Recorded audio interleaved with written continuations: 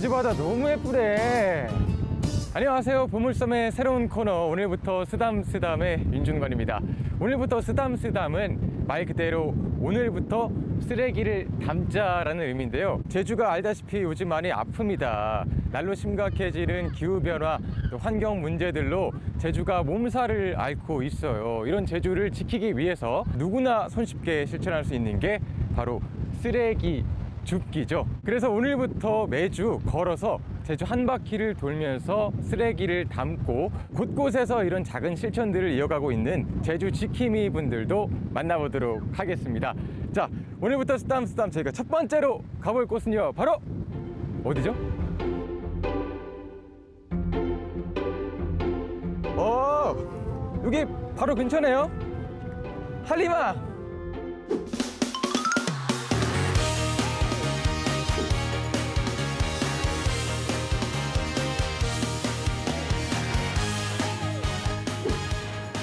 아니 엄청 심각할 줄 알았는데 아니 여기 쓰레기가 별로 없는데요?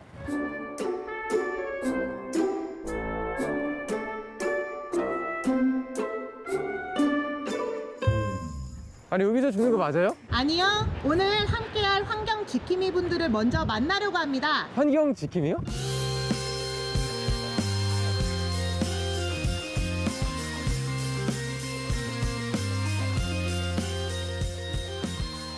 안녕하세요. 안녕하세요. 네, 와 등장부터 너무 멋지셨어요. 연습하셨어요? 네, 좀 했습니다. 아, 그러신 것 같았어요.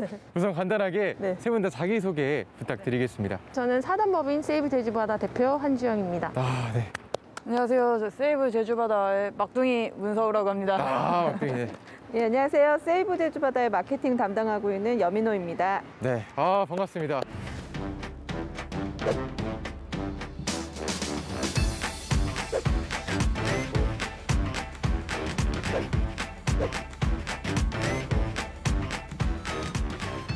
어떻게 해서 세제바 활동을 시작하시게 된 거예요? 어, 저는 2014년에 처음으로 발리로 서핑을 갔는데요. 그때 이제 쓰레기에 둘러싸인 적이 있어요. 바다 쓰레기에. 음, 처음으로 육지에 버려지는 쓰레기들이 실제로 바다로 유입될 수 있구나라는 거를 어, 알게 됐고 음. 그때 좀 충격을 많이 받았습니다. 그리고 나서 이제 제주도로 돌아왔는데 제주도도 마찬가지인 거예요. 관심이 생기니까 바다를 갈 때마다 쓰레기가 보이고 음. 어, 그럼 저거를 좀 어떻게 해야 되지 않나라고 생각만 하다가 이제 서퍼 친구들과 우리 너무 수동적으로 있지 말고 우리끼리 바다 사용료로 이제 비치 클린을 해보자 해가지고 시작을 하게 됐습니다. 주말에 그냥 집에만 이제 누워만 있고 할 거 없이 있으니까 이제 시간이 좀 아깝다. 뭐라도 해보자 해서 인터넷에 이제 봉사활동을 찾아보기 시작해서 그때 알게 된 게 이제 세이브 제주바다고 이제 여러 번 참여를 하고 지금까지 계속 하다 보니까 이제 쓰레기가 이제 문제가 좀 크구나. 그걸 느껴서 지금은 이제 좀 적극적으로 많이 참여를 하고 있습니다. 서울에서는 브랜드 마케팅 일을 하고 있었는데요. 제주도에 내려와서 아이들하고 의미 있는 시간을 보내기 위해서 이제 주말에 어, 게릴라식으로 이- 그 세이브 제주바다 활동을 할 때 참여하게 되면서 하면 할수록 더 좋더라고요. 제가 할 수 있는 일이 있다면 이 단체에 좀 기여해야겠다라는 생각에 참여하게 됐습니다. 혹시 세분 다 정말 대단하십니다. 좀 박수를 드리고 싶은데 제가 아까 보니까 여기 근처에 쓰레기가 별로 없던데 왜 우리가 한림항으로 온 거예요? 사실 이 쓰레기 줍는 단체들이 뭐 다 겪는 일일 테지만 네. 뭐 쓰레기 버리는 사람이 따로 있고 줍는 사람이 또 따로 있다고 하잖아요. 아 많이 근데 들었죠. 그거를 정말로 제대로 보여주는 장소가 여기가 아닌가라는 생각이 들어서 한번 와봤습니다.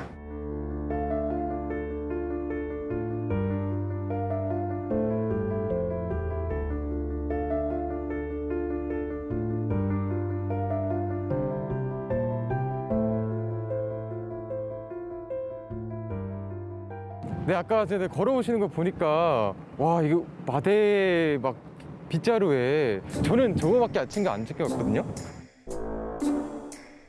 이 집게랑 장갑밖에 안 가져왔는데 네, 걱정 마시고 저희가 다 갖고 왔고 네. 쓰레기를 담을 마대랑 쓰레기 중에서 긁어내야 되는 그런 쓰레기들도 아. 있거든요. 또 밧줄 같이 이제 저희가 꺼내지 못하는 것들도 있어서 톱까지 다 챙겨왔습니다. 아 역시 혹시 마대에다가 담는 건가요 쓰레기를? 네, 맞습니다. 저희가 이거를 해양 쓰레기 어, 정화 활동을 할 때 네. 항상 우리가 정화할 장소가 해당하는 동업사무소에 먼저 보고를 하거든요. 마대와 장갑을 또 지원해 주십니다. 그래서 아. 그걸 받고 와서 이제 청소를 하고 또 그 동업사무소에서 이제 쓰레기를 어디다 놔두면은 수거해 가겠다 말씀을 해주시거든요. 네. 지정된 장소에 쓰레기를 쌓아놓으면 수거해 가십니다. 아, 그 해양 쓰레기는 그 처리하는 방식이 좀 다른가요? 네, 아무래도 해양 쓰레기는 염분 및 또 다른 기타 오염 물질에 이제 오염이 되어 있기 때문에 네. 수거하는 차량도 일반 쓰레기 차량과 가- 다른 차량으로 수거가 되고 음. 처리 방식도 이제 염분 때문에 다르다고 알고 있습니다. 자,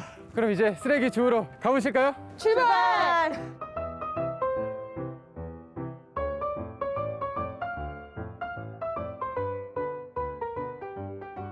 와, 이미 누가 근데 왔다가 가셨군요. 네. 이렇게 많이 주웠는데 저희가 또 주울 게 있어요? 네, 엄청 많아요. 사실 저번에 저희 단체만 와서 했을 때 110개의 자루를 채울 정도로 네, 맞습니다. 110개요? 네, 다른 단체들도 그 정도 주었고요.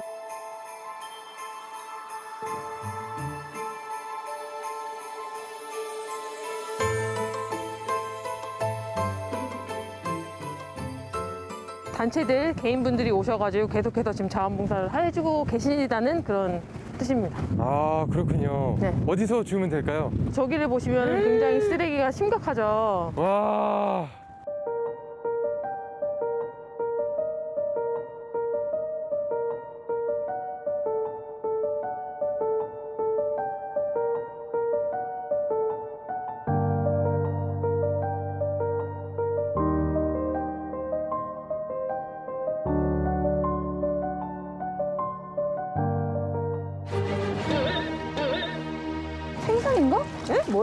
생선, 생선. 생선? 아니 쓰레기를 먹어. 아, 쓰레기를 먹고 죽은 건가? 어, 죽은 거 같다. 그죠? 보거, 보거 같아. 와.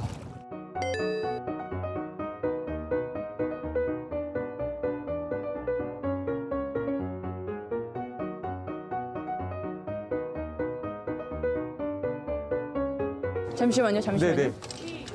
호흡이 맞아야 돼요, 호흡이. 아, 호흡이 맞아야 돼요?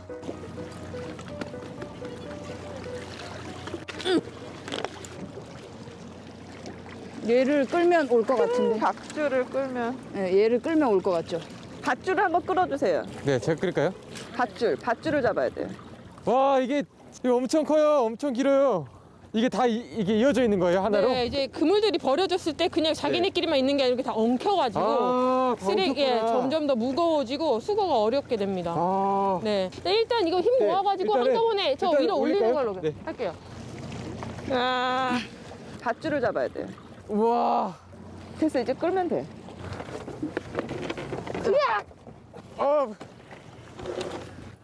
와. 엄청 무겁네요, 이거.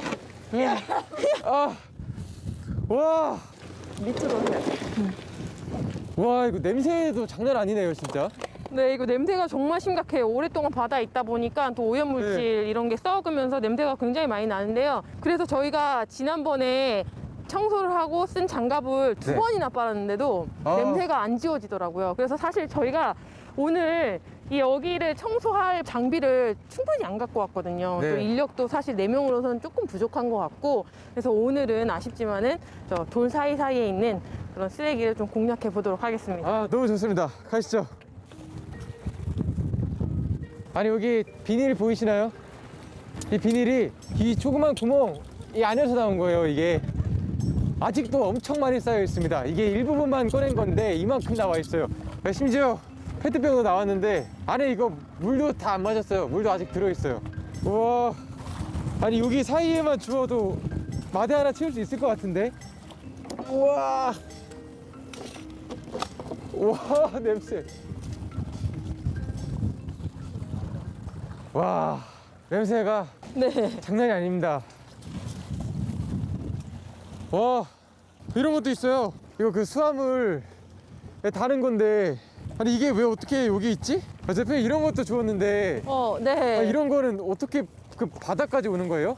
뭐 사실 뭐 두 가지 시나리오가 있겠죠. 하나는 일부러 버린 거고 네. 하나는 잃어버린 게 아닐까. 바다 쓰레기 하면 내가 직접 버리지 않으면 나랑 상관없는 이야기라고 생각하시는 분들이 많은데 네. 우리가 잃어버리는 물건 살면서 굉장히 많잖아요. 네. 우산도 그렇고 뭐 마스크도 바람에 날아갈 수 있고 이런 것도 떼서 버리려고 하다가 바람에 확 날아가 버리면 아. 못 줍고 그래서 이게 누가 버렸냐라기보다는 어쩔 수 없으니까 버려진 거는 네. 내가 버리지 않은 쓰레기라도 우리가 먼저 주워야 되지 않을까 이런 메시지를 좀 전해주고 보여주고 있는 게 아닐까 생각이 듭니다. 아, 네, 아주 좋은 메시지를 전하고 있는 쓰레기였습니다.